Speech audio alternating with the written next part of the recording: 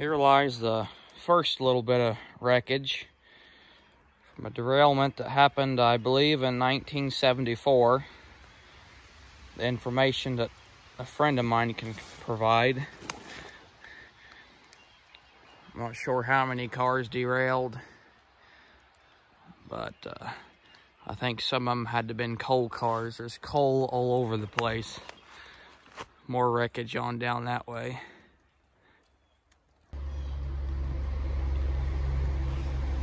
Here's some more pieces of wreckage. Tie plate. some piece of rail car, I believe. It's been cut up by a torch.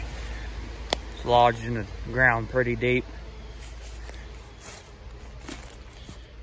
Big chunks of coal like that laying around everywhere.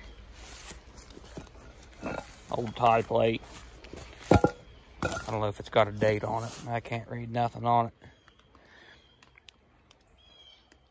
Pieces over there lodged inside the, the creek bed and the bank. There's a couple wheels over there buried in the ground. Work over there here in a minute. There's a piece right there, right on the edge of the bank. Could be several pieces laying down there in the bottom of the, the creek bed. I'm not really sure. I wouldn't doubt it. It's not very far away from the edge of the tracks, which is just right there.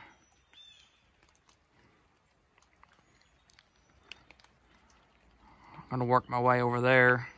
More wreckage, a couple wheels laying in the ground.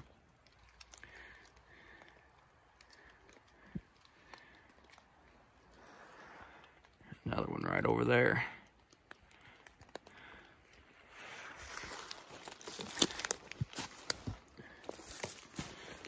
Boy, them things are big.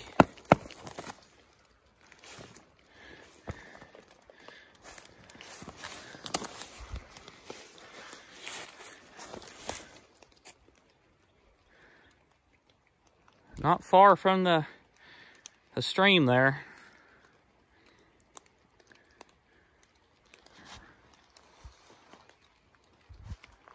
Another mangled up piece of metal over here, some sort.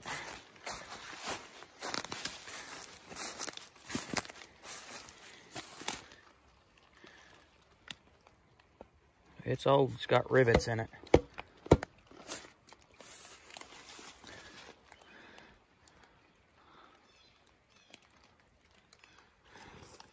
You got a wheel there, wheels, axle, whatever you want to call it.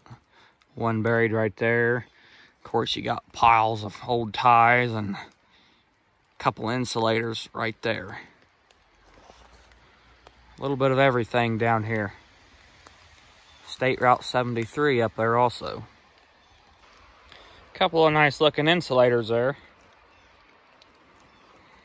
Even got some white ones up there.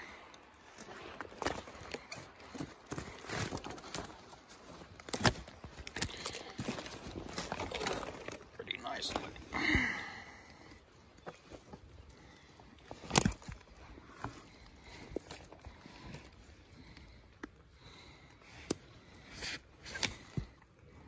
No chips in them or nothing. Let's check these wipers out.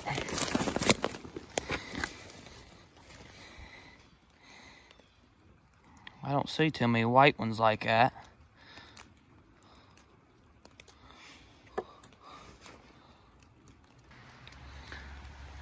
There's the other axle, wheels, buried inside of the bank. Like to know how heavy them things are. Damn, them things are monstrous.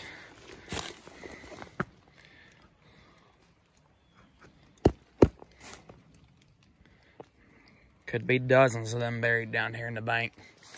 Never know. Or laying in the creek bed over there.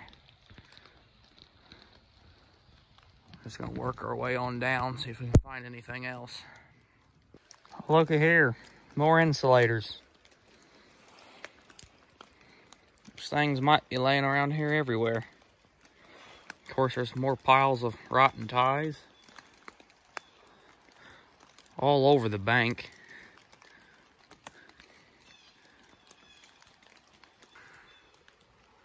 Looks like we got a pole here that might have been knocked over or something. Not really sure. No insulators on this one. It's got the tie down on it still. I imagine that's a insulator of some sort. I'm not really sure. I don't know much about these. Very neat looking.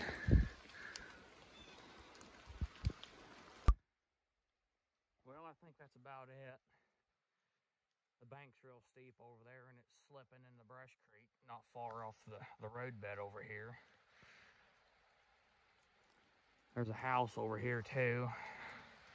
There's nothing over there. I really don't want to go over that way. An ex-girlfriend lives over there actually. don't want to go over there. But there's nothing. A little bit of derailment stuff laying around. Not too much. That way's looking toward Otway. A lot of insulators around here. And it's pouring the rain. Was. It's slowed down a little bit. It's cold, wet, foggy, miserable. Walking by this pole here and I found some more insulators or insulators laying on the ground here. There's one out over there and one right here. Both clear ones. Tell you what, these things are just laying all over the place.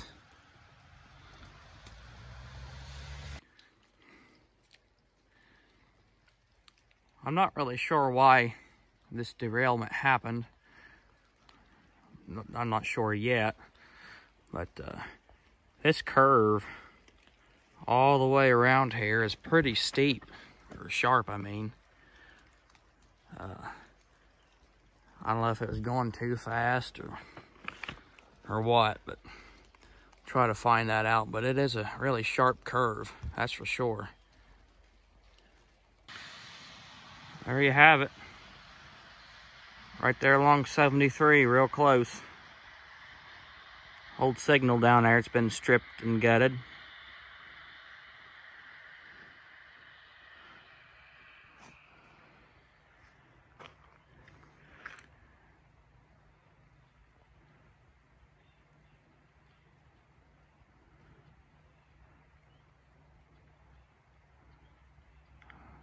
Least the rain's finally stopped.